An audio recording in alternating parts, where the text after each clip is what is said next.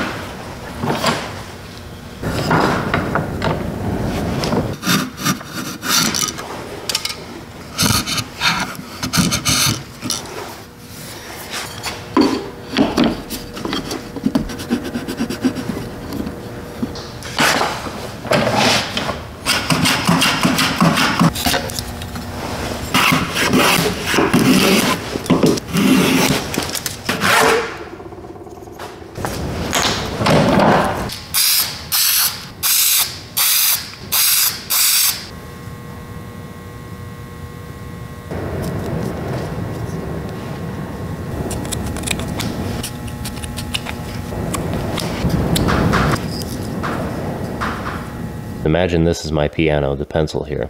I want it to come down onto this felt block and slide right into position. So there's a felt block on either side of the piano that when I put this piano in here, I don't have to be exactly center.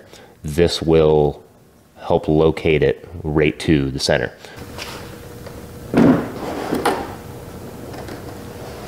So what's happening right now is there's not enough of an angle to force force it via the weight of the piano down that slope.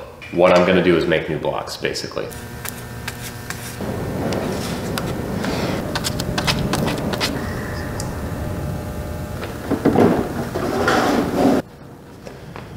All right, there's still a little bit of play, but it's very little. Honestly, you could do it without the blocks.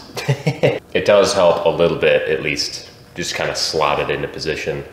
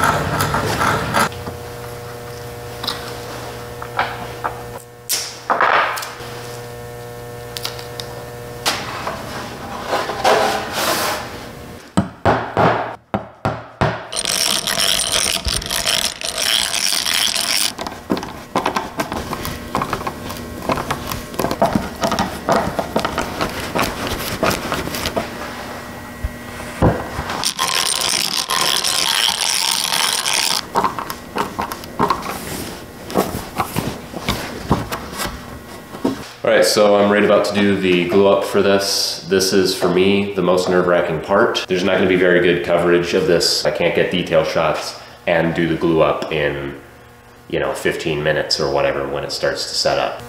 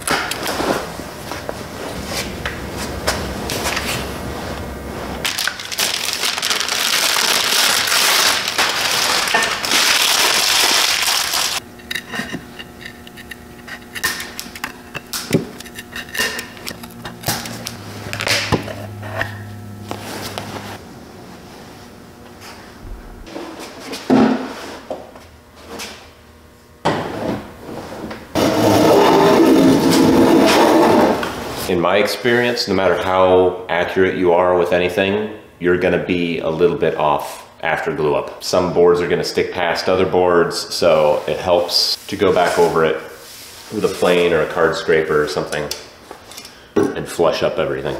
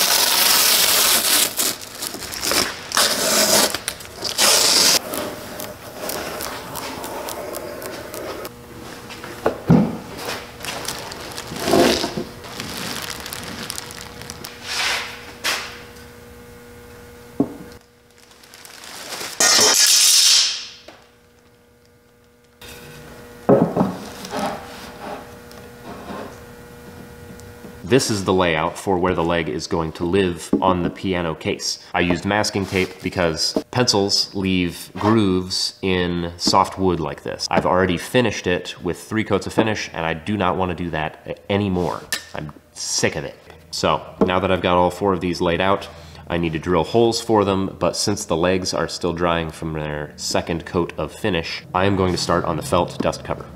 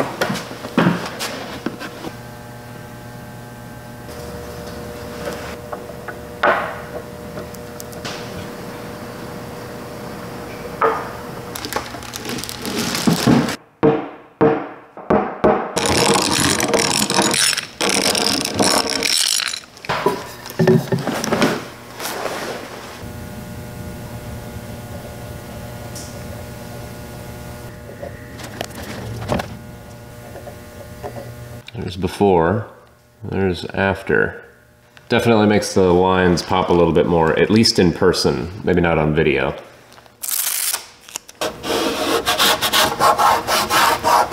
If you're curious what I'm doing here, this is to attach these legs, but temporarily. Put some super glue on here, glue it masking tape to masking tape, and then I can drill my hole from the other side uh, into the leg so that I have a hole that is perfectly aligned between the two. Doesn't really matter if I'm square. The main thing that matters is that this hole goes right through into this hole. They are collinear or in the same exact line.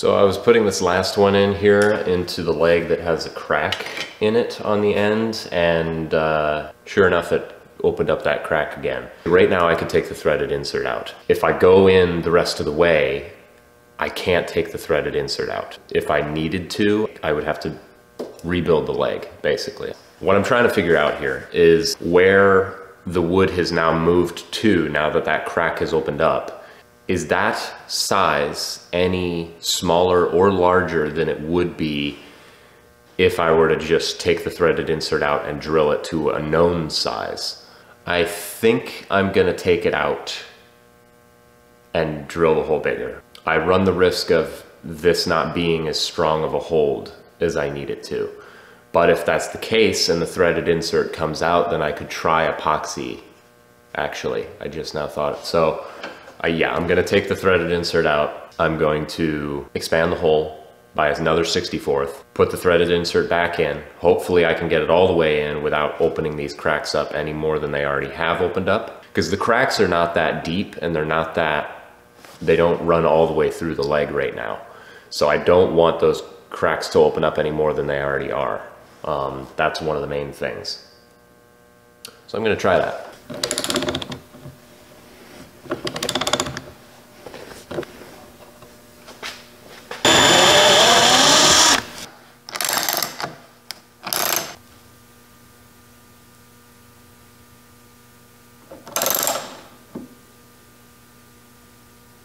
No explosion yet.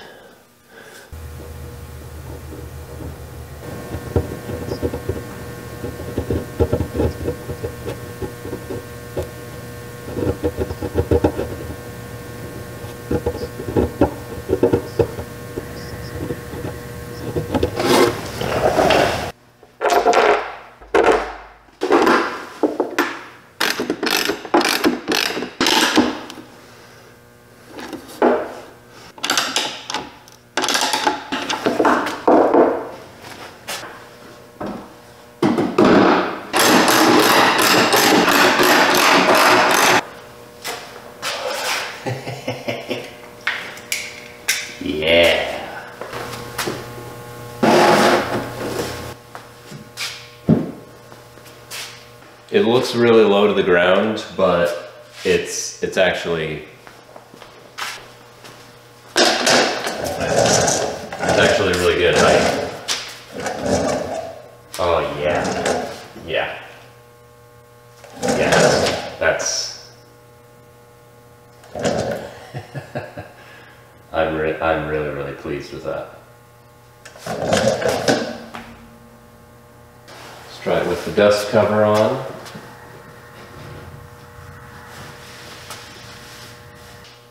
Oh, I'm so pleased with this. This is